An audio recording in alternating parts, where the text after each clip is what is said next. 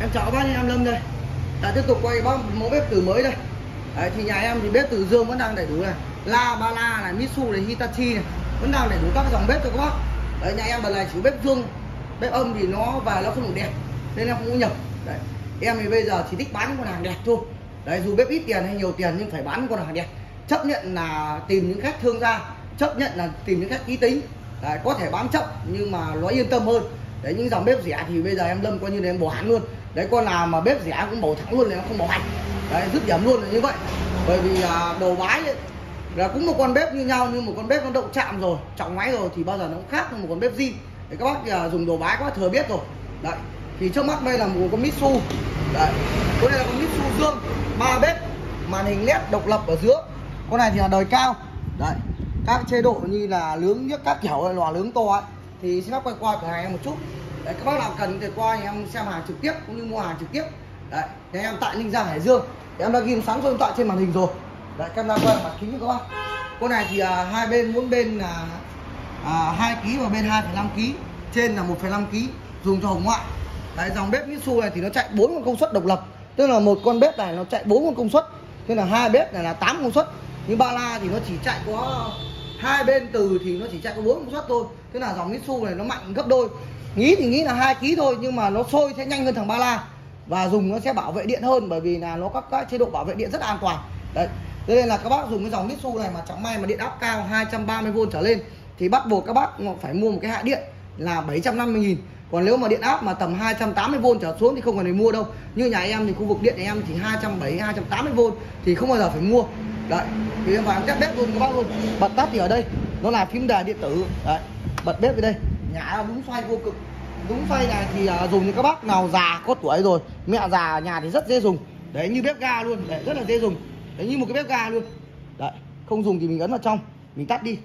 Đấy. bếp bắt đầu sôi luôn em bật cả hai bếp luôn. Đấy. Đấy. có ba ô hiển thị cho ba bếp riêng biệt. Đấy trên cùng thì là hồng ngoại. Thì một lát em sẽ test hồng ngoại. Đấy. rất là đẹp. Còn đây các vị trí chế độ nướng khác nhau thì các bác chọn đây đấy độ nướng. Thì à, cái viên nướng này thì nó không hỏng ở đâu. Nên là tí em chỉ bật qua cái cho độ nướng là chỉ có test hai bên từ là chính này thì trong đây thực tế là chỉ là cái me múc cái me so thôi mà. Đấy. bếp thì em cam kết bác là hàng zin nguyên bản tuyệt đối. Đấy, riêng nhà em thì không có bán hàng động chạm sửa chữa đâu. Đấy, bao giờ em cam kết bác là mạch zin đồ đạc zin đấy bên ngoài thì có thể tước sơn. Bởi vì những cái vách này khi mà về Việt Nam ấy là hầu như là nó xước hết. Nên là bọn em sơn lại để làm sao để đảm bảo tuổi thọ của, bếp. Cũng như là khi nước nó tràn ra nó không bị han gì bếp chứ như nguyên zin mà nó sức cắt đẹp rồi xong nước chảy bao hôm nó dỉ nó han hết.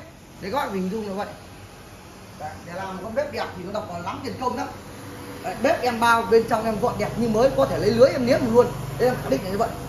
Đấy, bếp bao giờ em luôn cũng phải là, là dọn sạch sẽ đẹp nhất cho các bạn đấy, giá thế này thì rất là bình dân.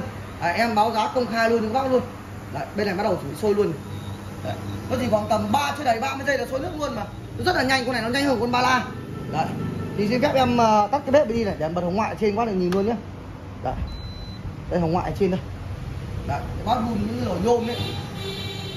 Đấy, nhà bác nào mà tết nhất mà có cần dùng gì đồ gì ấy thì có nướng ở trên này. Đấy, nướng ở trên này cho em. Em bác đợi một chút thì cái mai son nó mới hồng lên. Đấy, bên này đang nước đang chuẩn bị gieo chuẩn bị sôi đây. Đấy, hồng ngoại hồng rồi. Đấy thì phép tắt hồng ngoại đi nhé đây còn các chế độ nướng như đây đấy, tăng giảm số nướng này thì bấm vào đây là nướng này. Đây lò nướng ở dưới này. Đấy các chế độ nướng như con này nó lò nướng to thì các bác thao các bác nướng gà nướng qué thì, thì nướng. Nói chung nó là ngăn nướng to nướng thoải mái rộng. Đấy dòng Mitsu này thì cái hộp mạch nó là hộp mạch độc lập. Cho nên là đấy.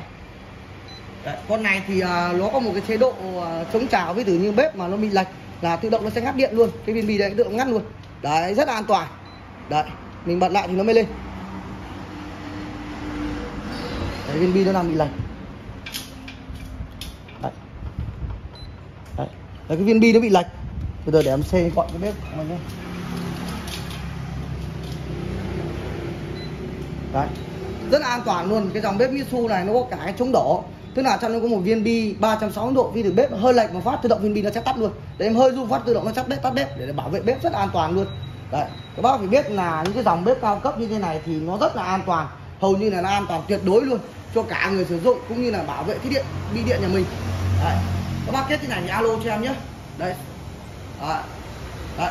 Con này thì à, màn hình led hiển thị ở đây. Đấy. Con này thì nằm trên người nó lắm công nghệ an toàn tuyệt đối luôn. Đấy. các bác kết thì alo cho em. Hàng em bao zin toàn tập. Đấy. Không động chạm, không sửa chữa gì. Đấy. bếp thì là bếp mặt trắng, vân caro. Đấy. bếp thì không có xuất sát gì.